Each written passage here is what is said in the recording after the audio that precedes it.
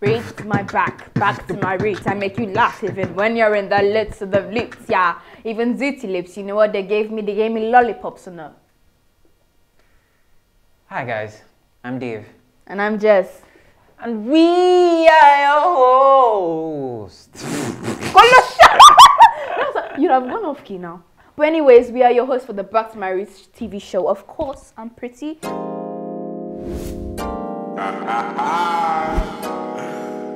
You know the vibes, son. Yo, why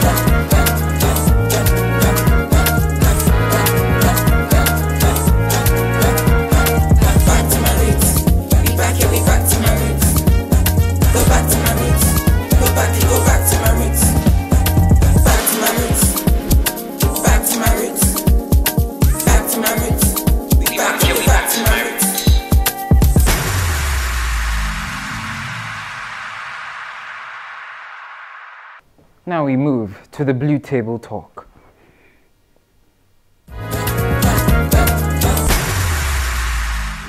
Is it an interview? Or our point of view, all, in all, it's for your view. Welcome to the blue table talk. Alright, so you guys, on today's show, we have Mr. Patrick Edwards, who is a writer, producer, um, he's a singer as well. He dances, but old man style, let me tell you the truth. And he's our daddy. But this time, let me tell you what the surprise is, is that we're not interviewing him as any of that, we're interviewing him as our father. The one who gave birth to us. the one you did the first five five five on your bum bum for you. So that's what we're interviewing him as. But he doesn't know, so it's a surprise. No worry. Let's continue. How's it a surprise if you literally just said it in But now he knows it was a surprise. Oh so I was supposed to say it was a surprise. Sorry. this. Okay, so now we are actually talking, asking you questions on behalf of your parents. So mm-hmm. whatever you say is what the parents of them say. So I'm just advising you. And if you guys, once again, we're saying it again, if you don't see us next episode, you know we No, I'm gone. not, I'm not that bad. See, you know we gone. I'm, I'm keeping it to a limit. It's, it's No, maybe you this is your mom who would have been saying. No, if, if you don't see Jessica next episode, nah, don't worry. Don't worry, I'm, I'm we on. Don't mind them. We are not that brutal. It's just their mind. Alright, let's be- let, let, let's do this. Okay, okay. So the very first question I want to ask That is is easy. something that bothers me every day. Mhm. Okay, don't worry, David. I know, me too. I know. So, you parents, you just come to the room at any time of the day. Chai. No, no. Chai. And do you know what happens? Is that you open our doors are closed and you open the door, and then you just leave like that with the door open. Why? You know, if you have watched Spider Man, the same thing happened to Spider Man. The parent actually came to the room. So sometimes there's the instinct that comes to you as a parent. If you don't get it, forget You just want to be sure that your child is okay.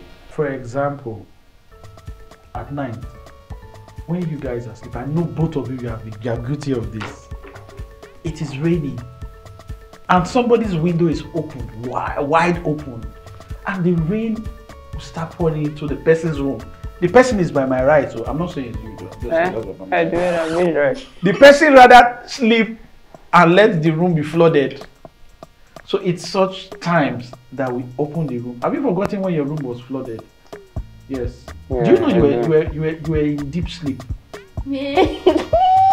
You in particular. had to come But to that your- was because Ah, eh. my door was open. I would left the door See, this is open. exactly what happened.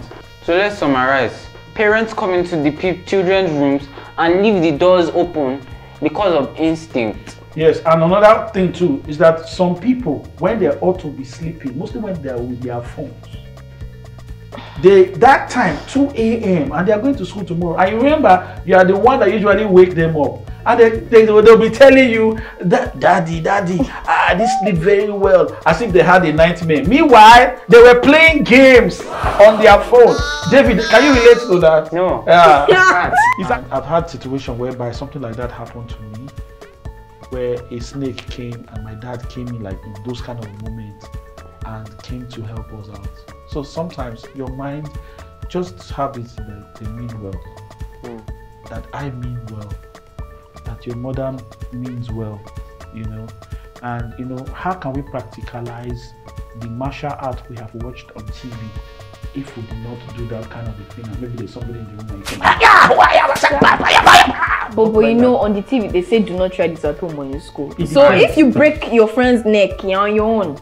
But- Please don't try that at home. Okay, so let, let, professionals. let's, But- but- let's move but- on. All right, let's move Okay. on. Let's You- move on. you. Um, you know, having us as your children. Yes. You know, we are very. I, I, consider ourselves to be very, very talented. You know, how is he able? Don't blow your you- trumpet. Slow how- down. slow I'm not blowing my trumpet, though. Please don't blow. You can blow your trumpet, but you can fix your your trumpet. trumpet. I'm fixing my trumpet. Okay. Okay, so you know, like, well, how does it feel having having you know, because you know there are parents who have children who are very talented. Not every parent wants their child to go into the entertainment industry. Children now, everybody wants to become an actress, a singer, an artist. But like, what's your message to parents out there? You know, to like embrace talent from kids that also want to like do something different. Okay, when I was much younger, my my my, my your granddad and your grandma, they wanted me to become a doctor, and my dad really was pushing me in that regard, but chemistry was my enemy. I can It frustrated me, you know, and at some- at some point he had to let me be, and I- that was what changed my life, you know. And I found out that when I give you the opportunity to be yourself, you are at peace and you are very creative. Imagine, like this set we've just said now, that both of you did this. It's amazing. But imagine that all these things were locked up inside you, and I wanted you to go and be a doctor. I've just destroyed this opportunity that is even coming as benefit to, to us. So, as as a parent, if I do not let you be, you cannot affect and change our world because there's some a whole lot of things that happen. So um, I can see everybody, the cameraman and everybody, they're telling me to round up. Just part of, you understand? You know, it's, it's, it's a great thing you know, you're, when you have parents willing to embrace and put your the talent. when they understand. when they understand what it And it comes with a lot of a lot of work too. But you also, but as as teenagers and children, you also need to understand that there's a limit Mm. as well. You know, everybody will, if your parents being supportive, being the parents that they are, will support you. But it's also in your power as well to, you know, support yourself and guide yourself. Mm-hmm. Because life comes in stages. Yeah. And with those stages, you need to you need to be careful about stages. So now we're going to move to the fun section, the section that we have all been waiting for. Please bring the box. Ah. Bring the box. Here is Don't time. ask me hard questions. you know, it's We not, don't- it's not actually our problem. It's not our. It's not. We, it's, not in I'll give you our hard hands. It's your it's your hand that That- is behind. exactly. Don't pick. Okay. Uh, so go. now it's time for the segment. Mhm. Pick and remember. That is it. Let's roll. Picky, remember. Just, just, They just pick. I'll pick mine too. You Okay, wait I for. picked mine. Okay. I hope it's not those questions that who is Tarzan's cousin and all those things. Don't worry, none of us know any of that stuff. So who Hey. goes first? Chai. Try. Things that could happen to me in this world. All right. So let's see. Who starts? So, why do adults say, say the truth and it will set you free? And yet, even after you say the truth, they will still beat you. I remember your mother when your mother did this to one of you guys. okay, when they say say the truth and they'll still beat you, you know, you see, for you saying the truth, you have liberated your your mind. But there are consequences, so you just have to stroll and get the consequence. You So, so is it not supposed to be say the truth and liberate your mind? Not say the truth and it will set you free. you see, every decision you take has consequences. You must face the consequence. That's all. Alright, Jessica, you read yours. No, you go first. once I saw this paper, every every part of my body just left me. But it's it's all right. It's all right. What do your parents do to you that makes you wanna talk back? Uh-huh. Remember, your mother is listening to this, and Wait, I'm wait, interested. David, I'm David, interested. David, what flowers do you want on your on your stuff? No what flowers flower, do you no want? flower. See, Yeah, me, I cannot say anything. are you afraid? Speak. I cannot speak. I, I'm speechless. I'm, I'm speechless. Jessica, uh, carry on. can say you. Carry on. Okay. okay. So my own question. You see, I actually wrote this question. Read but- the No, but it was not meant for me. It was meant for. Read the Read question. the question. What is that one thing that your African mother does that annoys you?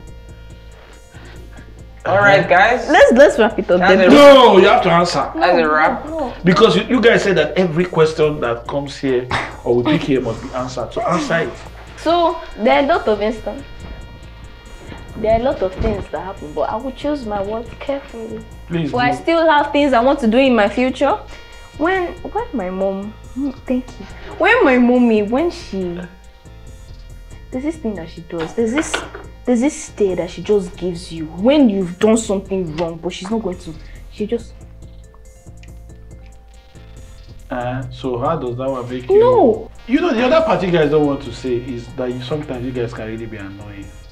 But you see, we embrace you. But you you decided to give birth to her. Yes, and we're happy. Guess what? I don't have any regrets. But you must follow the consequences. I think they're telling us. The the, the cameraman wants to dive into the set to tell us about Oh, no worry. Ladies and gentlemen, Boys and girls. in case this is Jessica's last episode, here, Yeah, you all should send me some some last days of. to be send, send your love. send Don't your worry, love. I'll, I'll give you a social Ah, media so you page. have officially picked a question from the box. Okay. You do the honors by signing on it. Why are you looking at it? You're not supposed to look at my screen. Okay. Alright, Alright. and gentlemen, boys and girls, cats, Yeah. dogs, newly added animals to the farm, we will see you soon. Soon. Adios. Adios. What's adios? Yeah. Means bye bye. See you. Back, yo, back to my roots.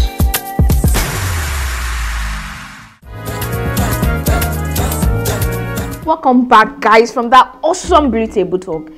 But now I'm going to tell you something that even I didn't know until recently. Did you know that Africa ruled the world for 15,000 years and it was one of the continents that first started civilization? So, Egypt, which is under Africa and had its own representatives, Thebes, which was one of them representatives, was built near the River Nile. And Thebes was actually the first one to create the Great Lodge, which led to civilization, and from ci- civilization, it led to order. So don't feel inferior because of your culture, or don't be like, oh, I'm an African, this is that. It doesn't really matter. Be proud of who you are. You are a golden African. But make sure to follow us on the links below. This is your G saying bye bye.